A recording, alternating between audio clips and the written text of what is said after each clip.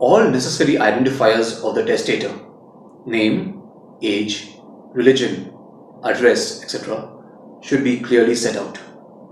A declaration should be made by the testator to the effect that the present will is his or her last will and that all other earlier wills and codicils stand revoked.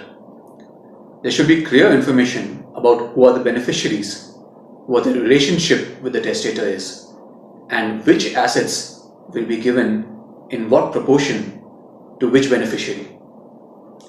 The executor's name should be mentioned. This can be a family member or a trusted friend. A will can be modified or altered at any time and any number of times by the testator during his or her lifetime.